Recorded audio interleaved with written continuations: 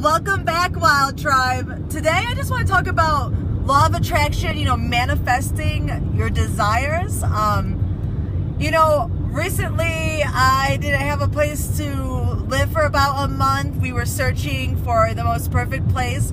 And during this time, we were trying to be patient and relax and allow a house to come to us. And when you're in a situation like that, you know, how do you attract when you don't want to be where you're at and you want to attract a different life?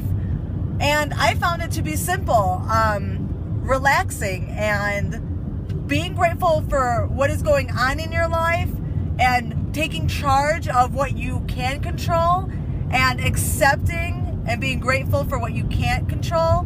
So, literally right after I started to relax and I felt trust in the universe that the best was going to happen, you know, for us, we found a place immediately. Like driving back from California to Colorado to see the house immediately, but on the way not knowing there was a place for us.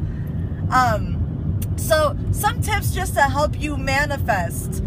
You know, look around. What do you have? I talk about that a lot. I talk about journaling and writing down what you have right now that really helps. For example, if you want to move into, uh, you, you want to move into a new town, let's say, um, well, how would you go about this? So you would be grateful for the town that you're in. You wouldn't be in this state of wanting to get the fuck out of there. You would just be glad to be there and to appreciate the community that you're in.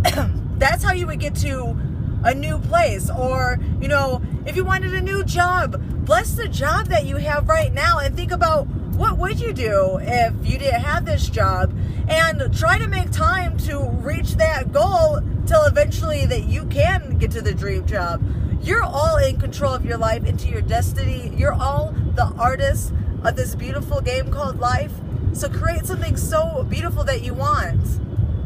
So if you don't know, think about that for a while. Think about the things that you're digging, that you enjoy, and start trying to do things more.